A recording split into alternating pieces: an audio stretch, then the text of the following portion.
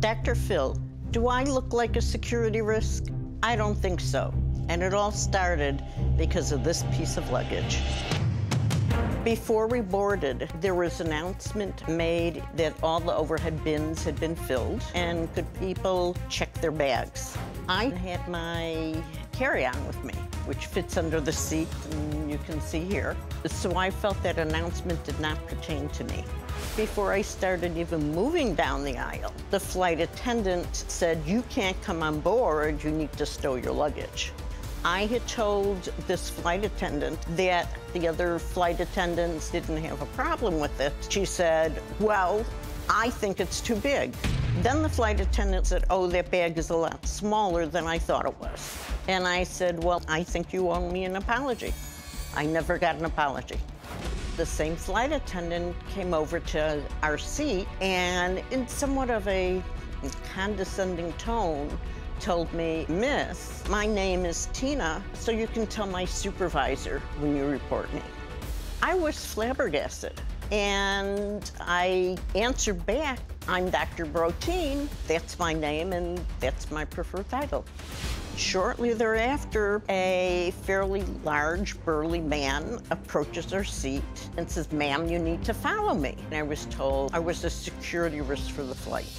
I was stunned. I had to retrieve our bags. It's a walk of shame type of thing because all the passengers are looking at me as I'm doing this. I think the flight attendant did abuse her authority. The flight attendant seems to always be correct. Just look at me. I don't think I could take anybody down as far as weight and height. I'm vertically challenged. So how am I a security risk?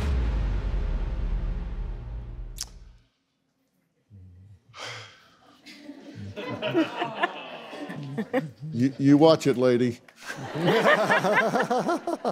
right, I can take you, you down. Thank you, Doctor. Good meeting you. Good meeting you. This is the bag. And they right. they told you that everything was full overhead, so you, you had to check bags. And I understand they're talking about roll-on bags. This is a go under your seat bag, right? Correct. Fits perfect under a seat, and there's actually additional room. Right. And Brent, the fact that the flight attendant is always right, you say is just not fair. Yeah, this was a situation where I wish you had been uh, in the seat in front of us. Somebody should have come and mediated this if, if need be. It didn't require a flight attendant to just have that uh, ability by herself. Another flight attendant could have come by. She could have uh, brought over the captain or co-pilot or somebody from the cockpit. But uh, her idea that she just didn't like us or didn't uh, didn't want us on the plane was enough to get us thrown off. Do you think it triggered her when you said, "Address me. I'm I'm a doctor. Address me accordingly." When she had been harsh with you, so you pushed back?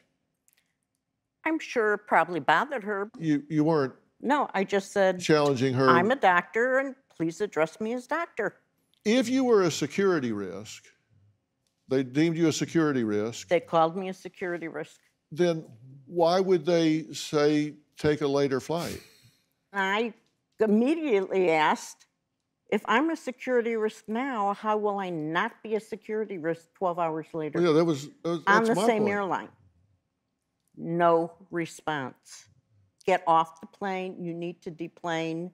And I was even told at that point if I don't deplane, they will call police officers and have me arrested as a federal offense for delaying the takeoff of an airline.